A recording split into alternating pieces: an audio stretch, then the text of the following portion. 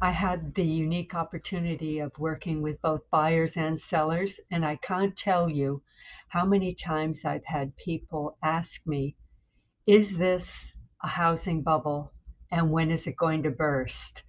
Um, people uh, got the knee-high wobblies because this is very similar to the run-up in 2005 and the ultimate crash in 2007. However, in my humble opinion, we are not headed that way. And um, this really is not the bubble that uh, most people think we're in, but don't take my word for it.